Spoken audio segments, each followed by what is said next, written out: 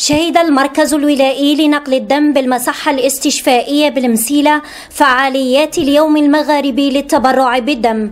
الموافق ل 30 مارس تحت شعار التبرع بالدم هدية تنقذ حياة الآخرين.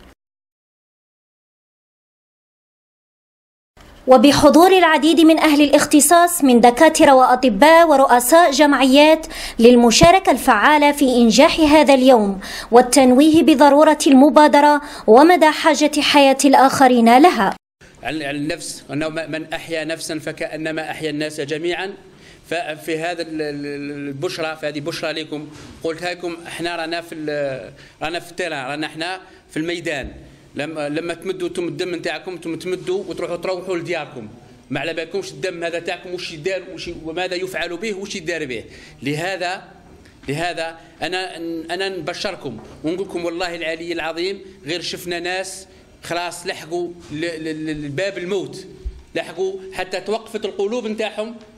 لأنهم فرغوا من الدم. لكن بفضل القطره تاع الدم نتاعكم بفضل الدم اللي مديتوه أنتم فهم أحياء يرزقون. راهم يمشوا على رجليهم. وكان خاصه خاصة أنا خاصة الناس اللي الحوادث المرور اللي تجي. وخاصة أنا نتكلم ثاني بحكم أني كذلك عندي علاقة بمصلحة الولادة وهنا. وهذه هذه مهمة جدا جدا. وقد لقي المركز إقبال الكثيرين من المتبرعين سواء الدائمين أو الجدد بهدف المشاركة والتفعيل وإرساء ثقافة التبرع ولهم من الأجر الكثير.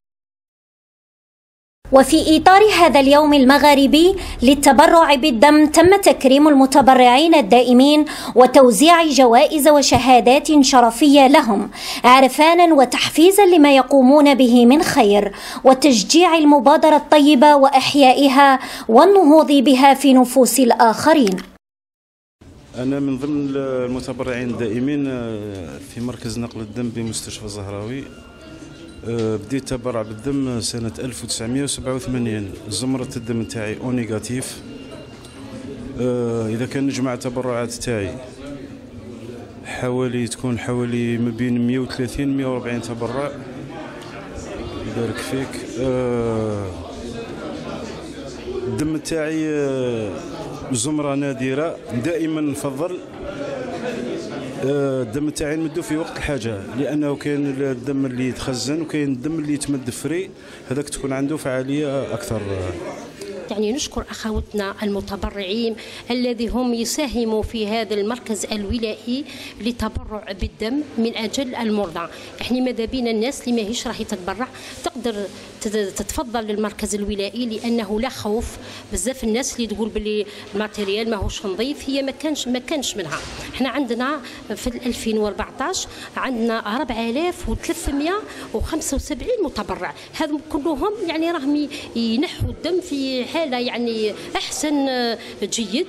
وحاليا راهم ولاو متبرعين دائمين. ولا يكون المتبرع في صحة جيدة أي لا يكون مريض من مرض مزمن une maladie chronique telle que le diabète ou l'hypertension artérielle maligne العمر الذي نحدوه من بين 18 و 60 سنه وقلنا l'âge l'âge ما يكونش تحت 18 سنة ما يكونش يكون في صحة جيدة وهذا هذا بصفة عامة يعني بصفة خاصة. أما الإجراءات اللي نقوموا بها هنا في المصلحة في اسمه نقيسوا الضغط تاع المتبرع لازم ما يكونش تحت 11 10 la tension systolique هكذا باش ما تكونش هناك مضاعفات. وهي على العموم ما كانش مضاعفات في التبرع بالدم يعني آه قليل وين نشوفوا إنسان يدوخ.